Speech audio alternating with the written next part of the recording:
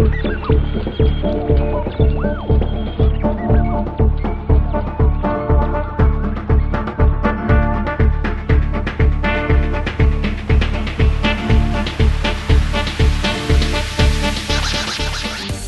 The Sonia Show, JetJurgens.com, and Assignment X. In a world where vampires live among us, at a time when a band of thieves is robbing all of the blood banks, a wisecracking priest and his vampire brother in law stand between a peaceful society and a worldwide bloodbath. Sonia Mansfield. Hey, will you drink this and tell me if it's blood? Christopher Allen Smith.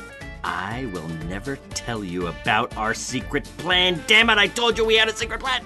Peter Brown. I guess you could say this really sucks. Get it? And Betty White as Harrison Ford.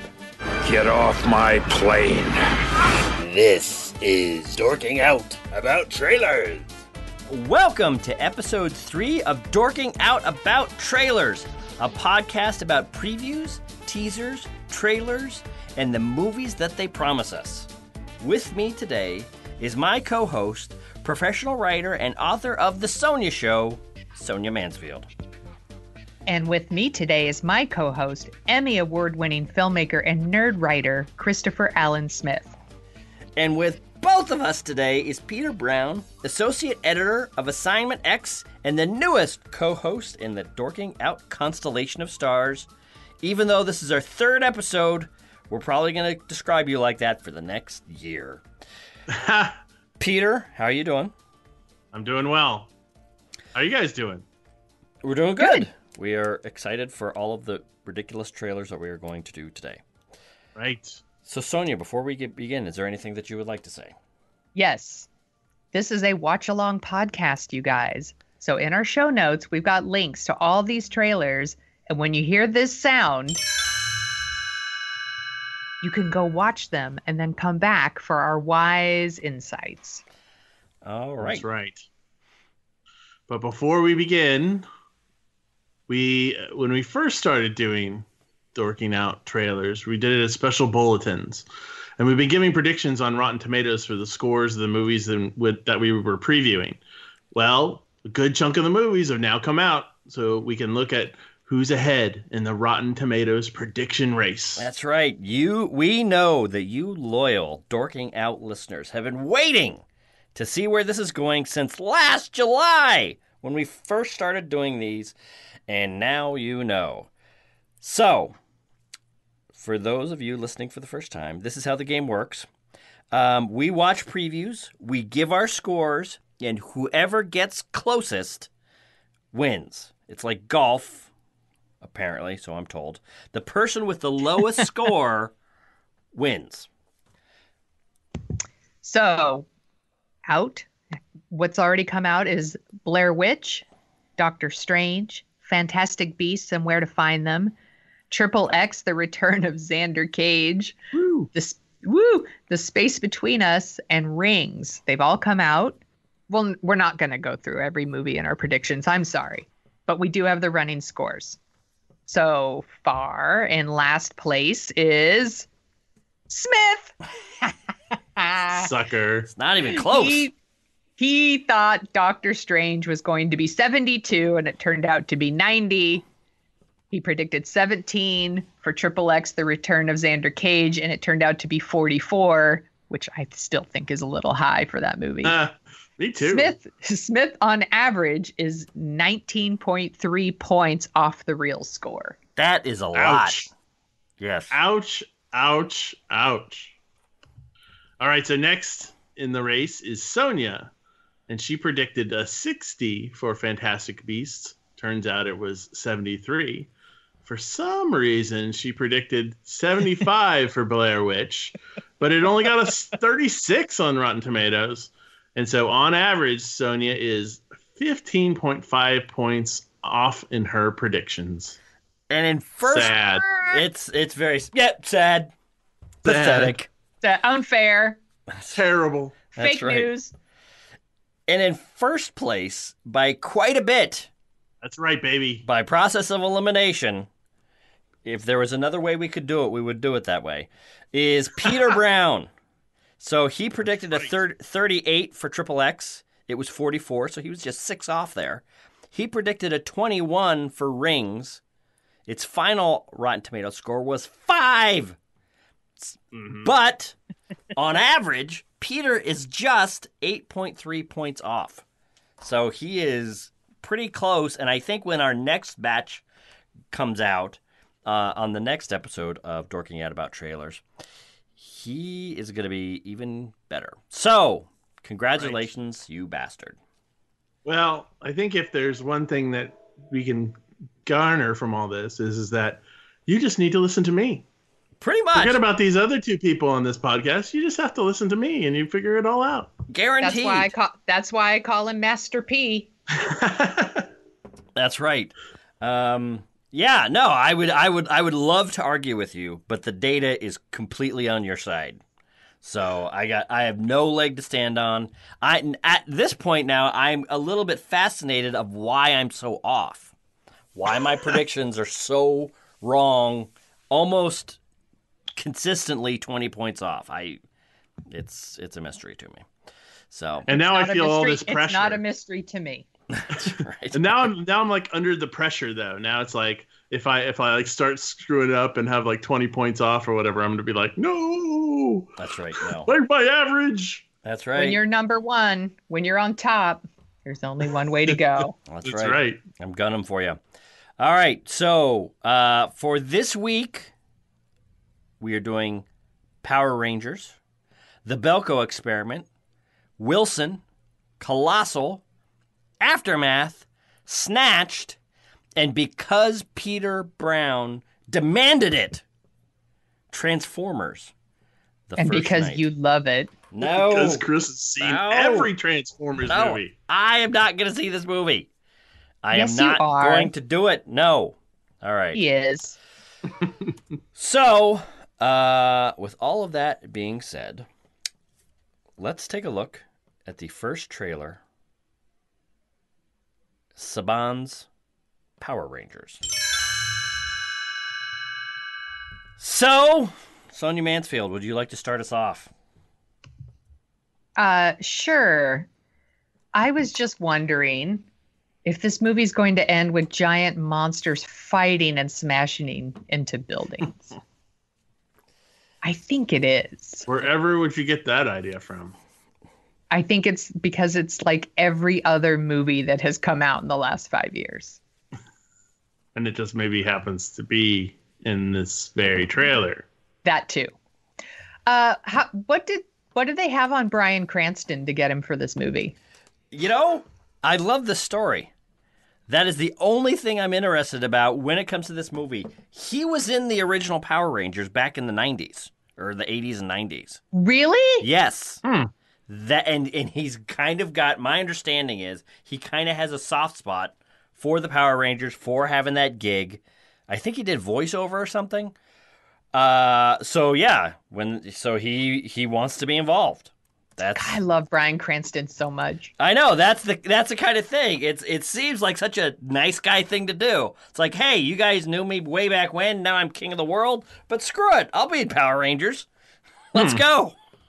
You know, I I wonder if kids will be into this actually. Like it doesn't look like something that's going to appeal to the people who were into it in the 90s, but it could be something that would be like younger, not younger. I'd say young, like teenagers on the young side might be into. Right. Yeah, that, that that's kind of what I'm thinking. Is uh, let's see, he did. Yeah, he provided the voice of Snizzard and Twin Man during the first season of, Of Mighty course. Morphin Power Rangers. So, uh, I mean, there's just there's nothing in that preview that makes me think like this is a movie for me. Right. Yeah. personally. I I, mean, it even has like, you know, you were born for this and I will destroy everything. It's, you know, pretty silly. Yeah. Yeah. What know, do you guys think? I I'm with you. I would love to kick it around, but it's like it's not for me. It it, it it's like it's like uh one of those stereotypical cartoon uh, opera lovers going to a heavy metal concert and then crapping all over it. It's like, lady, this isn't for you. Why are you even here? Right. So yeah, this is uh, this is not for me. Not really excited about it. It looks, I mean, it looks like a you know a not ridiculously gritty update. It looks like just all right. We're making a big screen movie of this silly idea. God knows we've seen a lot of silly ideas, you know, given huge budgets and turn out to be fun or somewhat enjoyable movies. Even even if this thing gets good reviews, I don't. Th- I still don't think I'm gonna go see it. Not that interested. But yeah, I could kind of like give or take. Meh. Peter, what do you think? Um, yeah, you know, I can see probably like this appealing to maybe third graders, maybe fourth graders, boys. You know, um, I don't know if teens are going to be down for this. I'm not exactly sure. Actually, it's a, it's an interesting, it's an interesting idea. That's for sure. And like the trailer could actually look a lot worse. It's actually, for the most part, not a badly done trailer. Right. Uh, the wallhead thing with Bryan Cranston is pretty super cheesy, but the, you know that's kind of a throwback to the to the series. Um, you know, like like you guys are saying though, I don't see a mass appeal here for a lot of people. I see it kind of just real niche, kind of preteen boys maybe, which I'm not Yeah, even I'm- sure. Maybe that that was the audience before too. I'm not even. I never watched Power Rangers, so I don't even know. I Right. think that it was, right? Wasn't it kind of like 11 and 12 year old boys? I think it was. Now what's Like fun- right before they discovered girls. Yeah. Yeah, You know- I will say I will say this though. They had that little preview to the trailer preview thing. Again God, I in this hate that one. Yeah. so It's much. just like totally annoying, and I really hope that does not become a trend. It may already be a trend. oh, it's definitely a Um, trend. Yeah, I and think- then this is. Yeah. Sorry, go ahead. No, I, I actually we, there's some other previews that we put in the show notes that we might do on the next episode, and I noticed it on all of them. Like they'll take basically they'll take the best joke, put it in the first five seconds, and then they'll start the pre- yeah. I don't know why. Don't have time for the annoying. 50 second trailer? Here's the Yeah. five second trailer. Exactly. Yes, my attention span is so terrible that I cannot sit through a minute and a half trailer. I have to have a five second intro to that trailer, and otherwise I'm just clicking on. Yes, uh, of a joke that I'm gonna see in 40 seconds. Anyway, exactly. I will So- say also, this is another trailer that yet again gives away the entire movie, and there's no reason for people to go see this Yeah. movie because it's all there.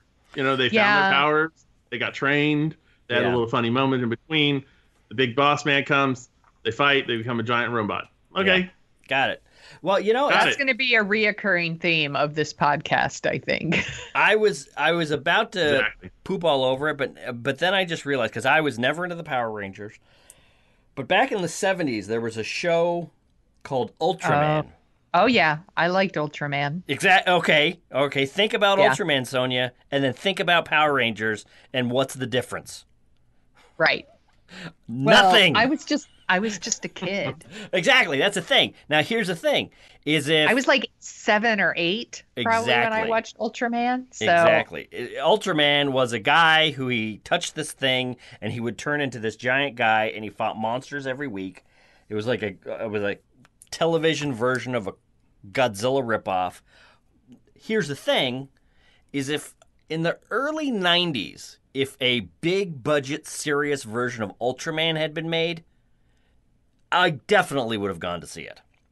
Oh yeah, So, yeah, this, so that's true. and plus, I, am you know, we're we're we're sounding like old people, crapping all over the Power Rangers. Uh, this Power Rangers has been a monster hit for years around the world, so I'm sure this is going to be huge. However, I think it's one of those pieces of culture that people like to kick around, so I think it's going to have a hard time the Rotten Tomatoes. Sonia Mansfield, what is your score? Prediction I'm going to say fifty. 50. Why are you laughing? because that's my, that was going to be my score and now i gotta figure i gotta make up some i gotta make up some ground so i gotta make a move peter what's your what's your actually you know what Well, i don't care about sonia peter what's your prediction that's what's most That's important right. Um, I'm gonna go 41. okay 41 all right 41 You know, it's funny. I was going to say 60. I was going to say it will be surprisingly well received. But then I just calculated that's literally 19 points off your score. So I'm going to say. ah, God, this is killing me. You're gonna say 42. No, no, no, no. I'm gonna say 60. I, I'm, s- I'm. You know what? I'm gonna say 61. No, hold on. Sorry. I'm gonna say 59. I think it's gonna be. Those two points are gonna get you. Well, they might. We'll see. Because I, I don't think enough critics are going to love this movie that it's going to push it over the top, but I think it's not going to get kicked around as much as you would expect. So, all right. With all of that having been said, the next movie up is the Belko Experiment.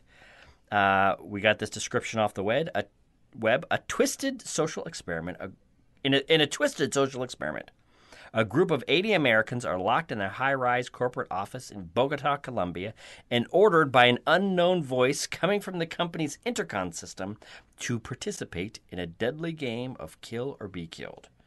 Let's take a look. Peter, what do you think? So, little known fact about me I am a huge Battle Royale fan. That's the Oh, I- Japanese classic I know- movie. Yeah, I never Where- saw that. Yeah, where they, they ship a whole bunch of students off to a, a deserted island and they make them fight to the death until there's one person left, right? Which which then Hunger Games basically stole. Right. Exactly. Well, in a way, in a way. And then they had a whole bunch of sequels which were really, really bad. Uh, but the original Battle Royale is like amazing. Um, so this and everything I've read about this movie is unapologetically an homage to uh, Battle Royale, but like with the whole corporate kind of slant, which kind of you know that whole climbing the corporate ladder thing gives kind of that whole new meaning. Um, so I love these type of movies. I'm totally, excuse me, I'm totally down to go see it. Um, James Gunn wrote it, so that I trust in him, and so I am I'm happy to see this. I I, I really am looking forward to it. Definitely. I am not. It looked you know, uh, keep going, Sonia. I was gonna say it looks like the worst team building exercise ever. yeah, no, it's it looks well. You know what? I just I love the thing I love about genre movies and TV shows is the way that they can take things that are going on in everyday lives and or, or you know issues that are going on in society or whatever and tweak them and mess with them and make them ridiculous and compelling and scary and crazy and i have to say I am so into this movie. I am not a horror guy. I am not. I have not seen Battle Royale, but I am very excited for this movie. I am. I think this is going to be huge. James Gunn is a great director. He's. I I love him. I'm just I'm lo- I'm loving everything about this. I love the the the cast. I I'm I don't have a whole lot more articulate to say other than this just seems the perfect movie for the mood and the tenor of what's going on in the country right now. Um, uh, you know, an ultimate crazy, horrible black comedy. I'm loving this. I think it's going to be huge. what what has James Gunn done before? Guardians of the Uh, Galaxy. Guardians of the Okay. Galaxy one and Okay. two. He Okay. also did. I think I he, thought so. I just I wanted to make sure he that, also that I was thinking of the right person. wrote Dawn of the Dead, the new Dawn of the Dead. He did. Um, let's see. Hold on. Super. I think there's some something else he did. Oh, come on. He did Slither, Slither, right? Which I which haven't is Oh. seen. a uh, which Yeah, yeah. had uh, Nathan Fillion in it, Yeah. and it was a small town gets taken over by these slugs. Yeah, I remember Yeah, that. that was one. really good too. He wrote the specials also way back when. That was wow. That was yeah. That was 15 years ago. That was one of the original uh, superhero parodies. Um, yeah. So, what uh, what's your score, Peter? Well, I don't, I don't know if everybody's gonna like appreciate it the way that I may appreciate it or think, or at least at least I think it's going to be. So um, I'm going to say um, 72. 72. Okay. Sonia Mansfield. What is I'm going score? to say 75. 75. Price is right in me again. Hold on, 75, 72. I I think this I think people are really going to like this. I think between the creative team, the setup, the metaphor of you know office politics taken to ridiculous extremes and horrible. I think pe- uh, people are really going to like this. But there is a contingent of critics that just like to kick around horror movies no matter how good they are. Um, so I'm going to say 81. That's my that's my All prediction. right.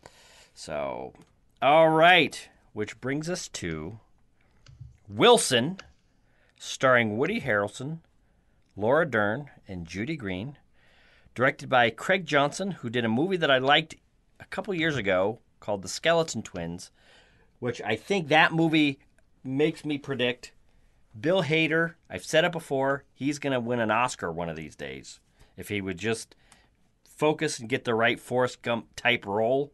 He's the new Tom Hanks. You heard it here first. Um, written by Daniel Clowes, who wrote Ghost World. Um, Wilson is a highly is about a lonely, neurotic, and hilariously honest middle-aged man reunites with his estranged wife and meets his teenage daughter for the first time. Let's take a look. I am a big fan of Ghost World. It was one of my favorite movies the year it came out, and I really like this trailer. Like, this looks like a movie I will love. Yes. I, I love I love Woody Harrelson. I think he makes such good choices, such interesting choices. I love Laura Dern. I'm really excited for this one. The tra- the the trailer made me laugh out loud several times, Yeah, you know, yeah. especially when he's on the train and he's the guy's on. There's a lot of empty seats here. Yeah, that was good. I feel like I've been that person on Bart. right. Exactly. Peter, what are you thinking? So when I when I found out we were reviewing this, I thought it was uh, first it was a Castaway spin-off movie following the adventures of the soccer ball after Tom Hanks. You know, volleyball. go, like, volleyball. Thank you. It was uh, you know gets picked up by uh, some fishing net, and then you know follow the adventures of the. Anyway, I would I would see that movie too. uh, yeah, you know, this film is if you if you've heard this podcast, you probably already know what I'm going to say. This is not a film for me. Um, uh, I respect it in the fact that uh, you know it looks like it's going to be funny, but it's a little too quirky for me. I'm not really kind of the person who likes kind of quirky movies, so um, yeah, you know, I could see it being popular. However, so Yeah, you know, you think, Smith? Well, yeah, I as I've gro- gotten older, I've noticed that I've kind of independent movies have a kind of quirky thing that they do. It's almost like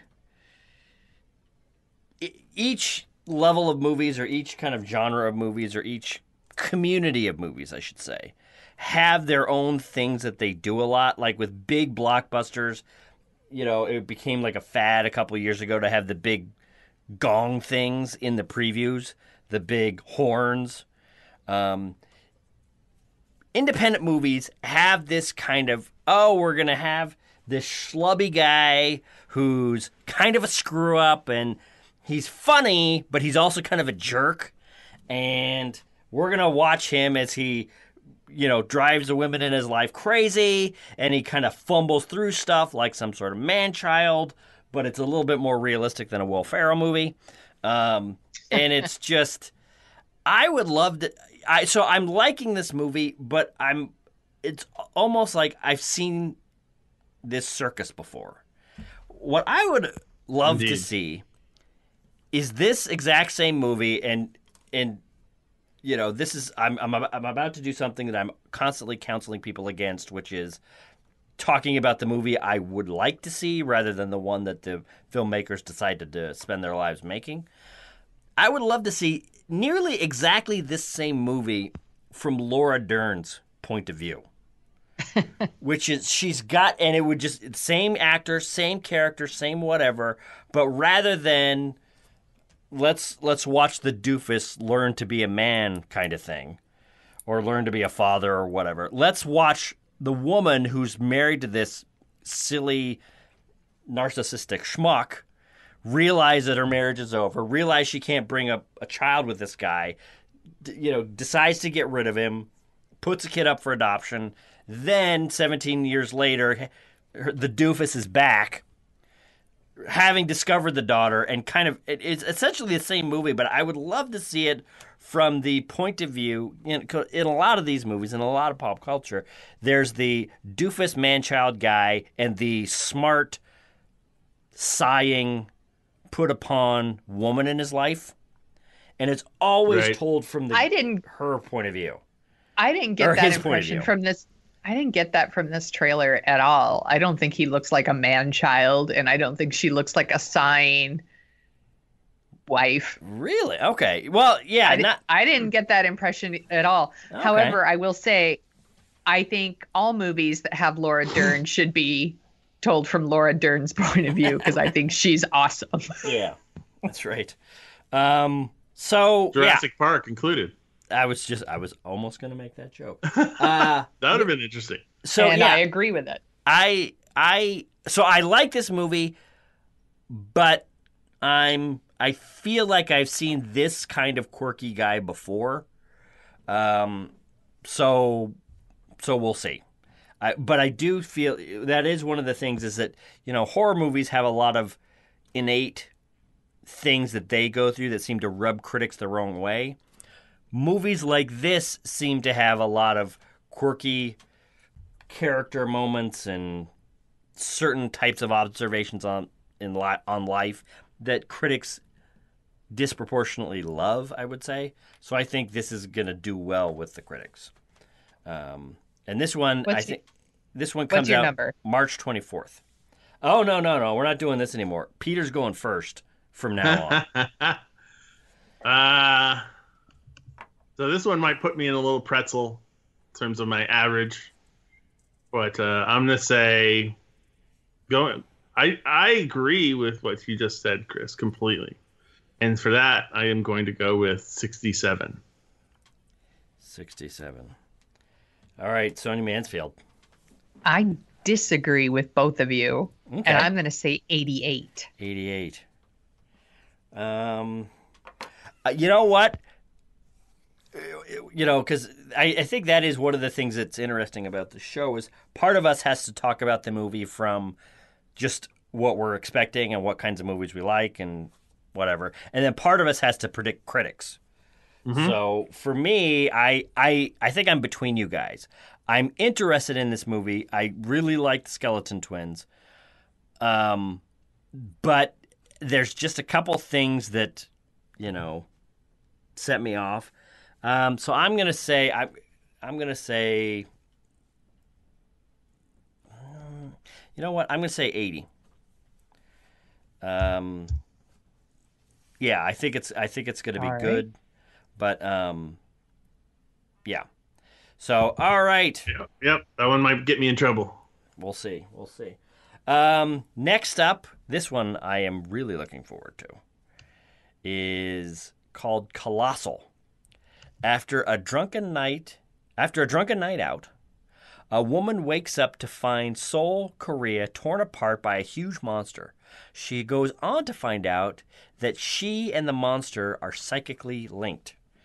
This one stars Anne Hathaway, Jason Sudeikis, Dan Stevens, and Tim Blake Nelson. It is directed. I am almost wondering if this is a misprint by Nacho Vigalondo. Is this a real word? I'm sure this is a real name, but I find that hard to believe that that is somebody's real first name is Nacho.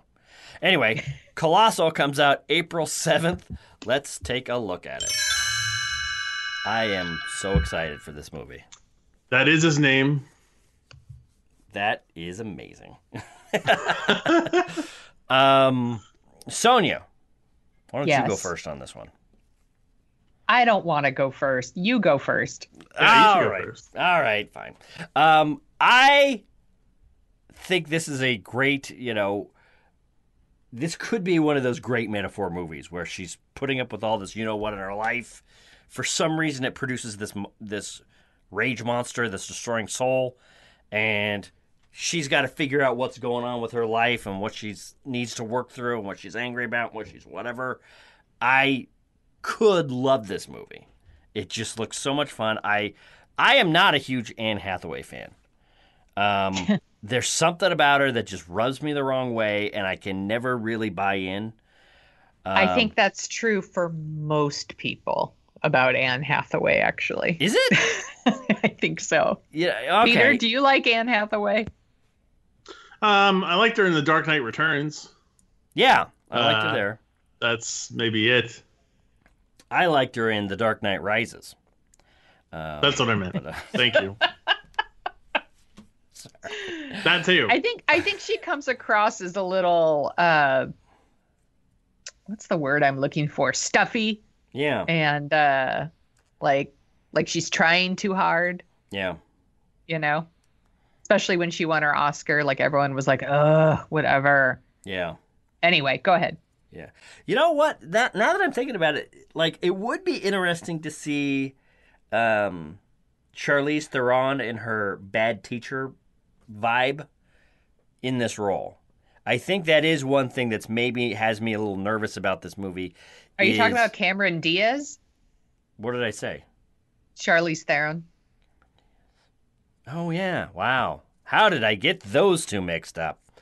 Um yeah. Uh so but yeah, but having Anne Hathaway in it, I'm just not she, she seems too I don't know. Like if she's not going to have quite the right energy for that kind of s- messed up. And maybe I'm projecting.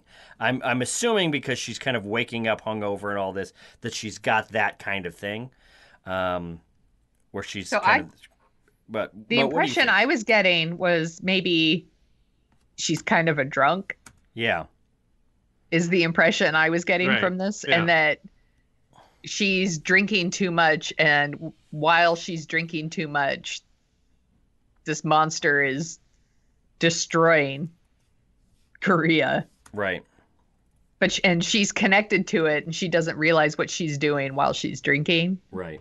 Oh, Maybe So that's it- kind of the so it's a- impression. Ooh, I like that a lot too. She's it's like a That's- metaphor for drunkenness or Maybe alcoholism. that's kind of that's kind of how I took it. You know, but At least I could be- initially, I think that's what's happening. I yes. think you might be right. and I and I think that's a really interesting idea and it makes it like an interesting trailer to watch.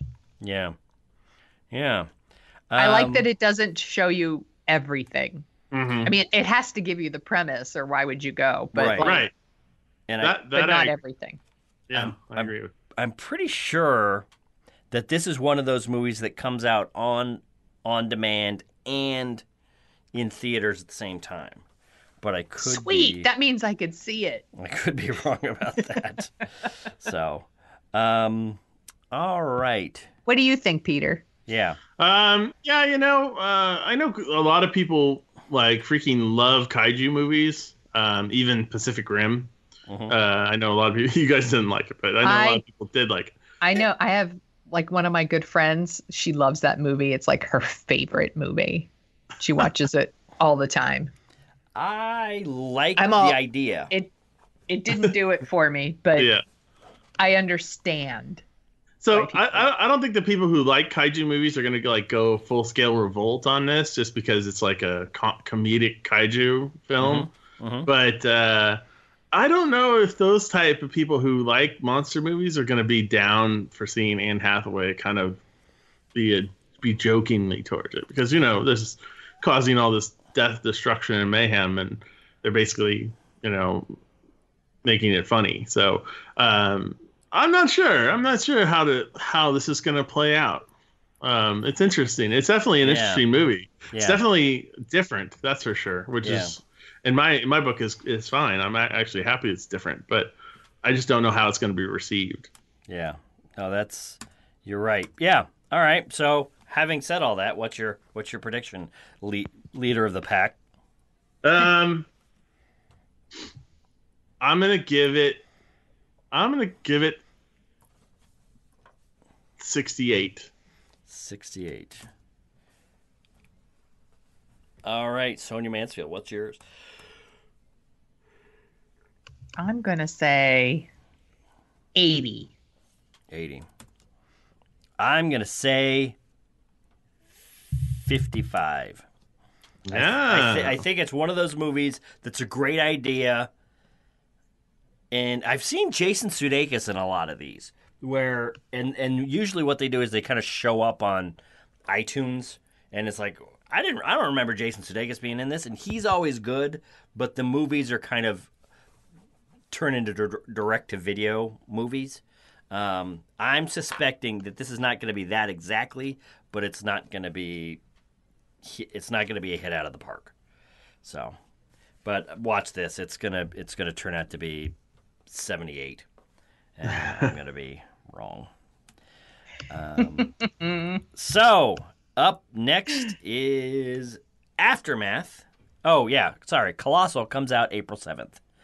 Up next is Aftermath with Arnold Schwarzenegger, Scoot McNairy, and Maggie Grace. I almost want to say that's Scott McNairy, but maybe not. This is Scoot? This That is- doesn't sound right. It doesn't say. It doesn't sound right. That's that's what you get for googling things. And anyway, um, the story follows two strangers who live whose lives become inextricably bound after a devas- devastating plane crash caused by an error of an air traffic controller. Schwarzenegger plays a construction foreman whose wife and daughter were killed in the crash and is burdened with guilt and a need for revenge. Um, let's take a look. You know what? I'm going to go first on this one. I am very Okay. excited for this movie. I have been waiting for uh, Arnold Schwarzenegger to get to the unforgiven stage of his career where he takes his persona, takes the kind of thing that we're doing that we're that we've loved about him for 30 years, but then acknowledges his age, acknowledges where he is in his life and starts to take more interesting roles and is it me or is this the first time we've seen Arnold Schwarzenegger cry on film? Has he ever cried before in any movie? Yes. Oh, all right. It was in. Uh, it was actually in a movie he did just not too long ago called Maggie. oh yes, I yeah. Oh, I And did not was- see it, but It was actually a zombie movie, um, Uh-huh. but it was a much much tone, toned down, subdued zombie movie. It was about a his daughter gets bit Mhm. by the the virus, and she doesn't turn right away, but it's like, and there's no cure, so eventually she's going to turn all the way, and he basically has to live with her daughter, his daughter, just basically slowly turning into an undead person, and so it's very it's a very interesting drama. I wouldn't even call it a horror movie. So just the idea of that makes me want to cry, which is why I didn't see it. Yeah, that's, that's I'm like, that is not for me. um, yeah. How was it? Did you see it, Peter? Yeah, it was good. I liked it a lot, and and I I, I was going to say the exact same thing that you did, which was I, I like that Arnold is choosing movies that kind of are more fitting to his age now.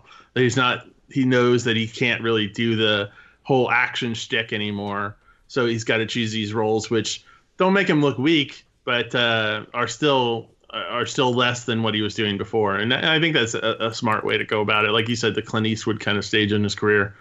Um, so um, yeah, I, I think this actually looks pretty good. Um, I, I, it doesn't it doesn't look like it's very action oriented at all. It might be. It, it seems like it's more of a drama almost, like it's just kind of a very hard hard hitting drama. Maybe does that seem what, like what it was to you guys too? You know, it's- Yeah. Yeah, it, yeah, it is, and I think part of what's interesting about it is the idea that Arnold Schwarzenegger is the guy that's been wronged, but he hasn't been wronged by you know a biker gang killing his family or something. He's been wronged by this guy that screwed up at work.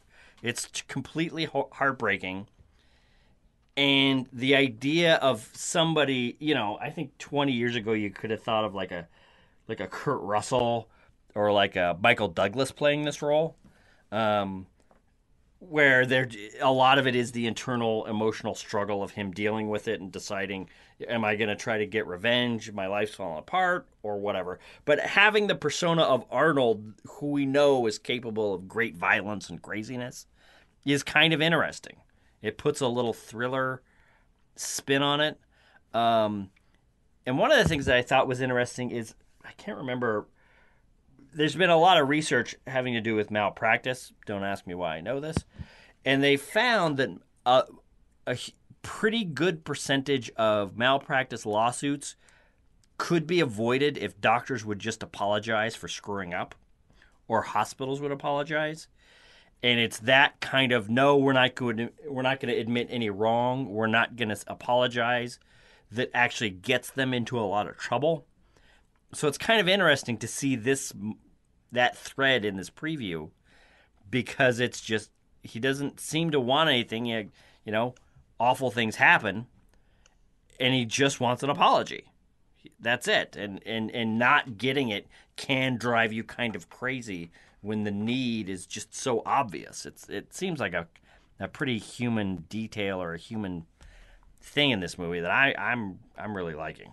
I'm I'm ex- I am interested in it, even though I was very interested in the last couple old Arnold Schwarzenegger ones. There was that one where he was a cop or a, a small town sheriff on the border, I think.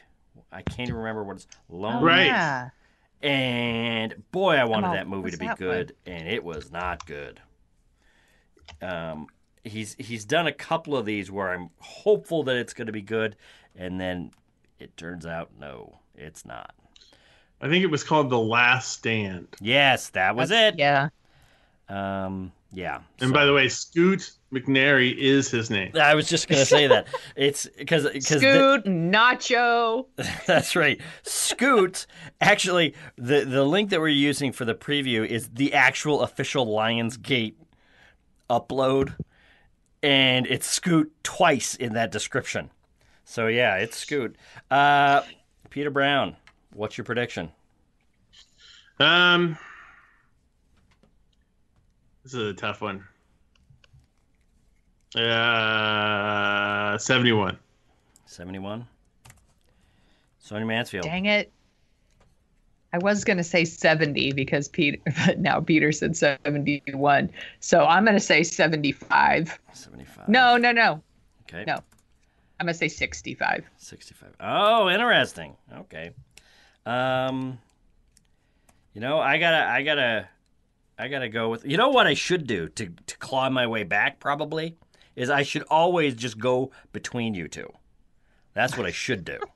I shouldn't be one of the outliers. I should always be I should fi- you know, find the average between So you're your two not numbers. actually going to try to guess what the scores are. you're just going to play I am well and, no. and Peter and I against each other. No, here's the thing is one I Or think maybe Peter and maybe Peter just makes his prediction and then I go one up from Peter. Then what are you going to do? then then I'll be in trouble. Um, is uh, well, no, I'm noticing that I am off. I am very off, and you guys are closer. So I got to figure out a different number. Um, you know, trying to predict. You know, I and that's part of my strategy is I am dependably off.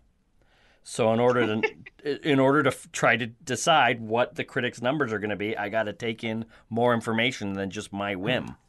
So you're pulling a Costanza. No, I'm pulling. You got to do the opposite. I'm acknowledging. I'm acknowledging a weakness, and I'm trying to fix it. Man, are you are you are you like this with David when he's trying to make his life better, Sonia? Just No, tap tap tap, scratch because scratch I scratch. love him.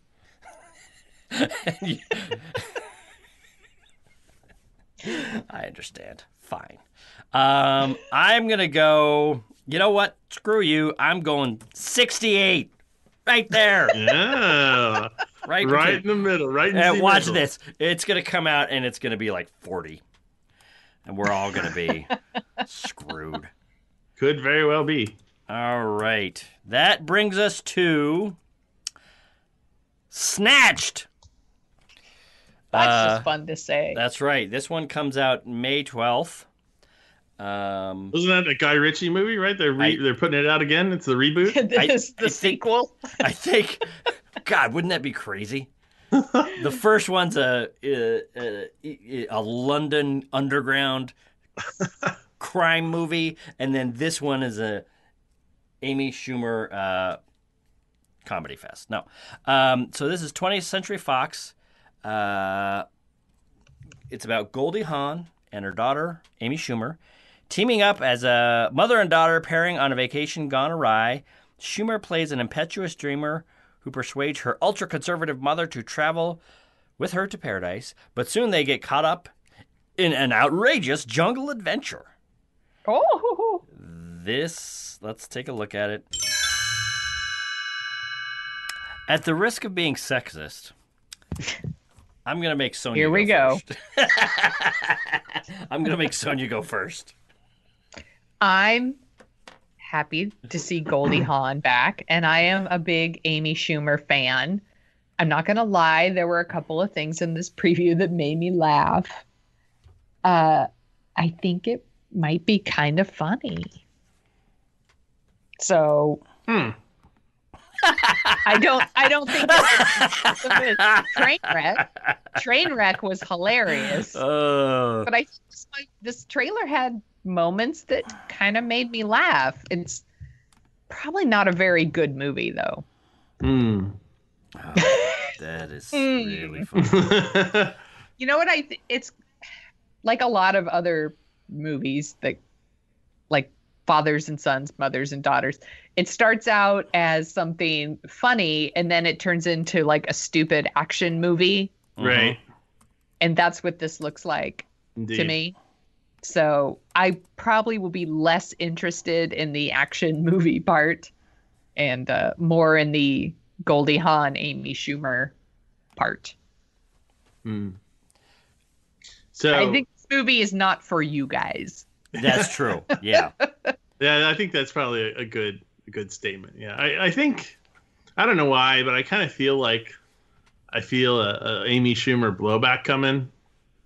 And I think that she's been pushed a lot in the last year or two years, and I think some people I think are kind of getting kind of sick of her a little bit. Uh, maybe it's the current political climate, or maybe it's because she's so so super outspoken, or it's that maybe it's just because she's everywhere. Um, I'm nothing against her. I can kind of like, for some reason I just feel like there's like a blowback coming against her, and that's nothing to say this movie. I, I agree with you that it doesn't really look like a very good movie. Um, There were parts in the preview that made me laugh, but I can also look at it and go, that's not going to be a very good movie. Yeah. yeah, Yeah.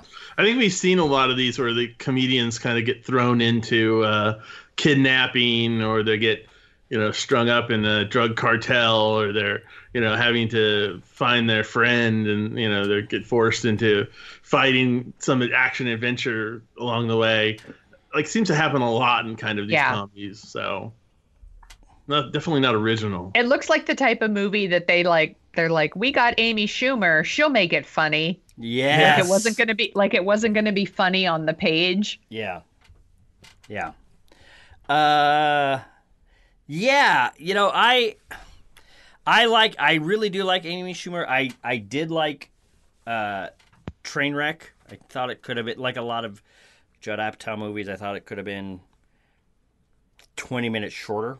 Exactly 20. Yes, I was going to say 20 minutes shorter. Um, I I do think there's some blowback from Amy Schumer coming, not because of the current political climate or anything, but I feel like this happens with a lot of comedians is they get big on stand up, they get really sharp, they do a good show or a good first couple of movies, then they kind of get comfortable. They've been out of nightly stand up for a couple years.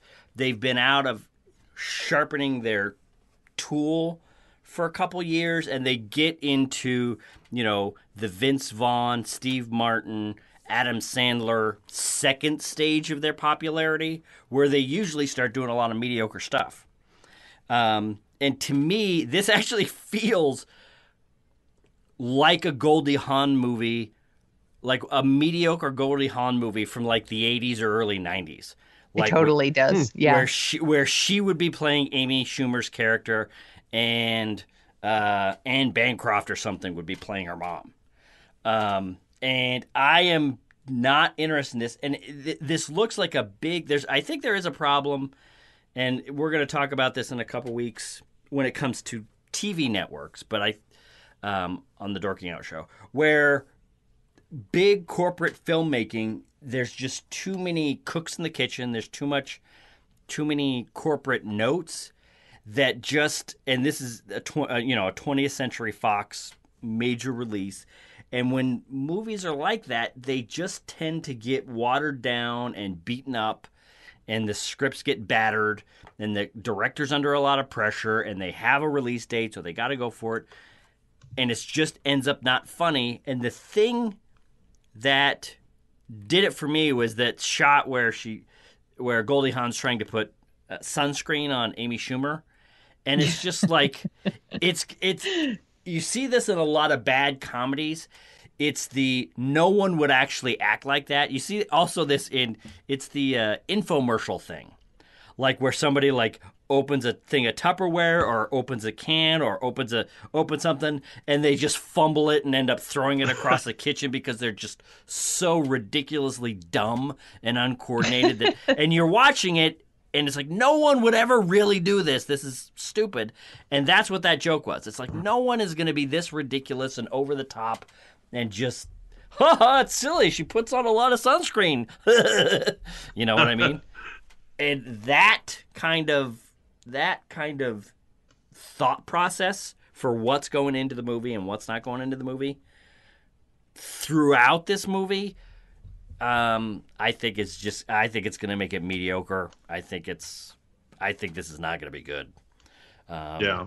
but get you can get in line. So comes out on May twelfth. Uh, Sonia Mansfield. Actually, you know what? No, we're we're gonna do this. We're, we are gonna do this in order of who's in first always has to go first. Who's in second always has to go second.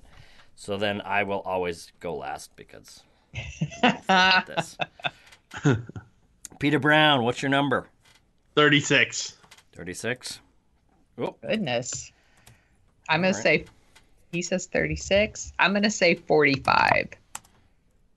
okay. Uh Let me guess. I'm going to guess Chris's score. Okay, 41. Okay, hold on. Because here's the thing. Let's look at this. I've done a little research. It's directed by Jonathan Levine. He did 50 50, which was great 94%. Warm Bodies, didn't see it. Uh, All the Boys Love Mandy Lane, didn't see it. That was 40. The Night Before, uh, with Seth Rogen, 66. Uh, didn't see that. it was a movie that was much better in theory than it was actually. I I, I, I would say 66 is a little high. But in ni- 2016, he did Mike and Dave Need Wedding Dates, Ew, no. which was 35%.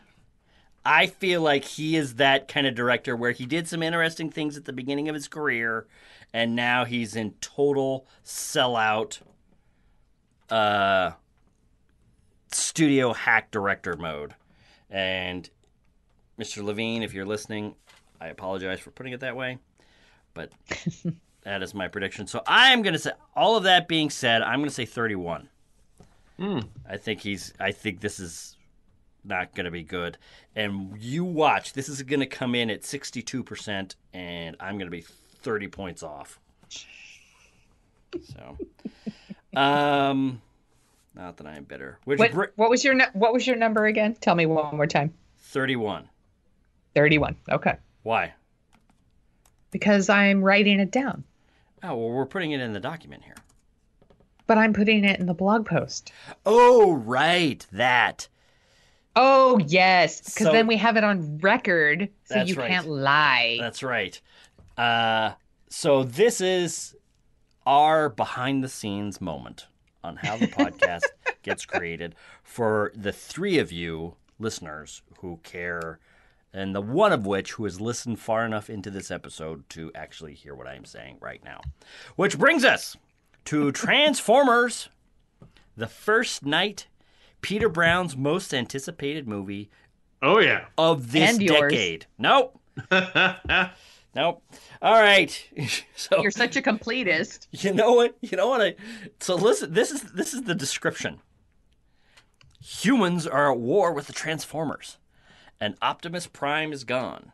The key to saving the future lies buried in the secrets of the past and hidden history of Transformers on Earth, which, correct me if I am wrong, Peter, describes literally every single Transformers movie so far. All four of them. That's the that, that is the uh, description. Am I wrong? It sounds right. I've only seen the very first one, All right. but it sounds eerily familiar then why are you wanting to watch? Why why did you put this on the on the docket if you've only seen? Uh, because I know that you love Transformers I movies. don't love Transformers. and I wanted to talk about it because I wanted to get your opinion as a Transformers movie expert. Ah, God. Actually, you know what? That is that is. I, will have to. I have to never cop to that. stop laughing about this. If you if you had said Transformers movie fan, I would have spent the next half hour ranting about how you're wrong. But unfortunately, if you said expert, and I have seen them all, so I have to cop. to. Exactly. I'm. You are the only one of us that have seen them all. I haven't seen, seen none. None. Sonia's seen none. I've seen one. You've seen four out of four. Well, you know what? I rest my proverbial case. I'm putting I'll you see you in court. I'll, oh, I'm putting you both. I'm putting you both Sad. unnoticed. This movie comes out June 23rd. We are all going to go see this movie because you guys are going to have to talk about what it's like to see a big dumb summer movie. There you go. Oh. You have to see this movie. It's on the docket. There you go. Um, no. for the rest of the description. Now it's up to unlikely an unlikely alliance of Cade Yeager, Mark Wahlberg, Cade Yeager. Listen to That's that. his name? That's, That's his, his name. name? Cade Yeager. You know, like Chuck Yeager, because he's an American hero, and an and an English lord played by Anthony Hopkins. Oh boy, oh boy. So this is a team up of Anthony Hopkins and Mark Wahlberg. Let's take a look. All right, Peter. Yeah. It is your burden as the front runner to give us a number. Oh, we're not even going to talk about it. We're just going to give go right to the numbers. That's right. What to say? It's just like, oh, if you watched it too, if you're listening to this podcast, you know we're just going straight to the numbers. Because Now, there- there's uh, nothing to say. Is there anything that you want to say? No. All right, Sonia, is there anything that you would like to say? Uh, no. Uh, actually, that's not true. I do have something to say. I just wanted to mention that the story is by Akiva Goldsman, Yeah. who I believe is also working on Star Trek Discovery. Uh-oh. And I really just want to mention it because I want to make Smith cry. Oh God, you're so cruel. now here's the thing that's interesting about Akiva Goldsman is he's attached to a lot of awful things. yes. The end. No. Um, he wrote Batman and Robin.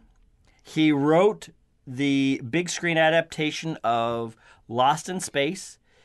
He wrote uh, Batman Forever, I believe. He has a reputation, a really damaged reputation. Um, and he is the head. What Paramount is doing with these Transformers movies is they're trying to get into the connected world business or whatever.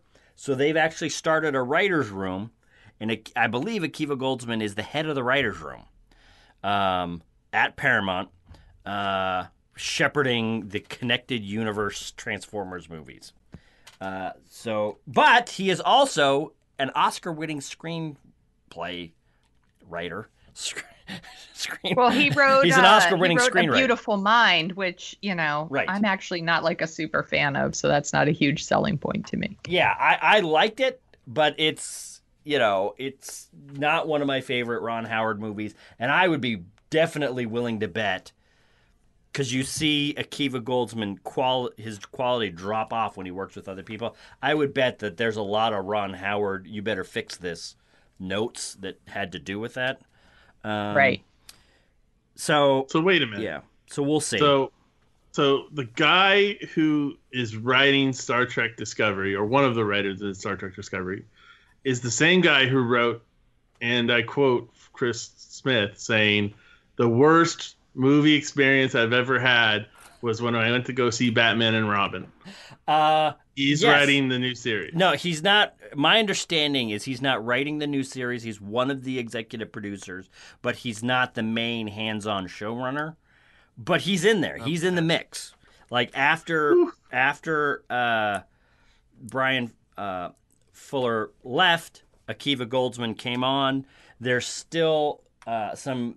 I think the guys that ran. Uh, Fringe are actually the showrunners of Star Trek Hmm. Discovery. So we'll see. Star Trek Discovery is in the Star Wars Rogue One. They just did a bunch of reshoots rumor phase Yeah. where it could be really great, it could be really awesome.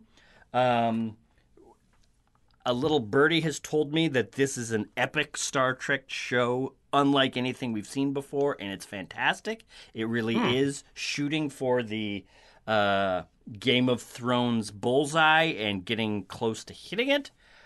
But who knows? The rumors Right. are crazy and rampant right now. So God only knows what the actual story is. All of that being said, you put Akiva Goldsman together with Michael Bay, and holy smokes, that could be. It's a s- perfect oh man. storm. So yeah. it's a dumpster fire. You know what's what, what is what is interesting? Actually, what is interesting is I'm looking at uh, Michael Bay's uh, page on Rotten Tomatoes. He is the executive producer of Ouija, or he's the producer, not even the executive pro- producer of 2014's movie Ouija, which got a seven, seven percent. Then he was the producer of 2016's Ouija: The Origin of Evil, which got an 82%. Can you the the the sequel That's a huge jump. the sequel went up 75 points. That's crazy. That is crazy. Actually, I think I, I think now that I think about it, I think I saw. I think maybe I saw Ouija, and it was actually pretty good. Um, I'm not a huge horror guy, but all right. So all of that being said, my score is 25. I'm gonna go first. I'm gonna looking looking at where these movies have gone. I don't think this is going to be the worst Transformers movie, but I think it's going to have a lot of trouble. I think it's going to be awful. Uh, the highest was 57. That was the first one. Then the next highest, I believe, was is 35. Um, and Transformers movies have gone all the way down to uh, nine, 18 and 19. Yeah. So That lines up with my prediction. yeah. So what's your what's your prediction? 15. 15. Oh wow, you're gonna think it's the the worst one of all, huh? I do. All right, Sonia, what's your prediction? Uh, I'm kind of with Peter here, so I'm gonna go 20. 20. Oh, look at you. All right. Is, does anybody? So yeah, Transformers comes out June 23rd. Let's do a little review. Smith will be there. Snatched. We're day. all gonna be there. Snatched. Snatched will come out uh, May 12th. Aftermath comes out April 7th. Colossal comes out April 7th. Wilson comes out March 24th. The Belko Experiments comes out March 17th, and Power Rangers comes out March 24th. So tell us what you think. Come to our Facebook page, etc., etc. Sonia Mansfield, is there anything else that you would like to say uh, on any of these movies? Any thoughts? I just want to say, Smith loves Transformers. All right, fine. Screw you, And goodbye. Peter. I'll just say goodbye. Bye.